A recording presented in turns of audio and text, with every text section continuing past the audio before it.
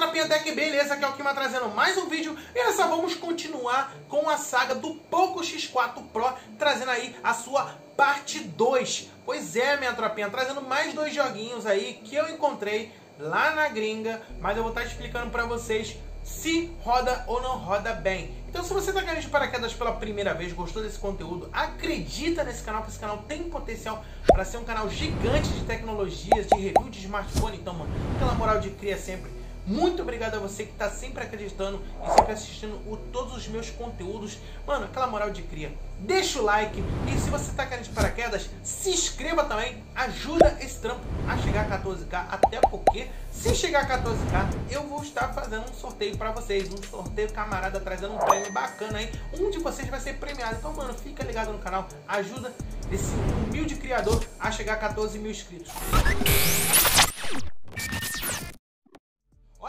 Verem como é que eu já terminei a fala. Pois é, vamos falar dele, PUBG no Poco X4 Pro. E aí, rodou bem ou não rodou bem? Sim, rodou muito bem.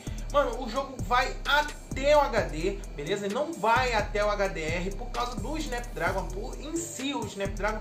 Ele, como eu falei para vocês, o 695 ele tem as características muito parecidas com o 732. Porém, o 732 em jogos e algumas aplicações o 732 ele se sai um pouco melhor, apesar de pontuação de bitmark, algumas pontuações de desempenho do 695 ser um pouco melhor, mas o rendimento em jogos, câmeras e algumas aplicações no 732 ele se sai melhor. E isso vou estar até numa parte, na parte 3 eu vou estar até explicando isso para vocês. Mas como vocês podem ver, a gameplay foi testada no suave extremo do PUBG e mano, tá rodando lindamente aí no Poco X4 Pro. Como eu falei, o PUBG já é um game aí, mano, que já sofreu tanta atualização, mas tanta atualização, que hoje pode dizer que ele tá no mesmo patamar, bota aí, no mesmo patamar de Free Fire, só com um gráfico melhor e com bota aí também um desempenho um pouco melhor. Por que, que eu tô comparando em si até com Free Fire e tal? Calma, não é nada relação que não. PUBG é melhor que Free Fire, mas eu tô entrando em polêmica não, quero ser polêmico aqui não. Eu estou só fazendo um leve comparativo em questão de motor gráfico, em questão de fluidez do jogo, beleza? O PUBG ele melhorou muito com o decorrer dos anos, né, mano? Trazendo aí atualização em cima de atualização. E o jogo foi melhorando também o seu motor gráfico, o input lag e tudo mais. Tudo isso foi até mesmo para evitar de você ter que ficar usando sempre o GFX Tools, que eu acho que bota aí que 50% da galera já aposentou esse aplicativo e ninguém usa mais.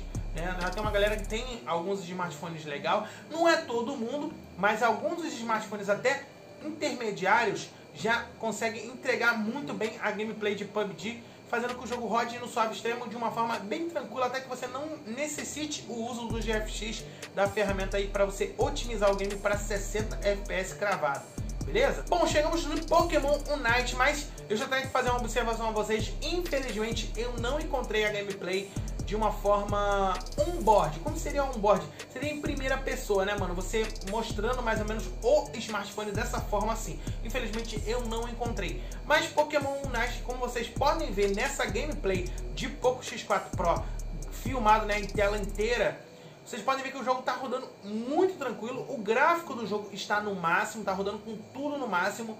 E cara, não está dando lag nenhum. Pelo menos assim, eu que eu vi é, em certos processadores, é, certas aplicações, certas configurações, o Pokémon Unite se sai muito bem.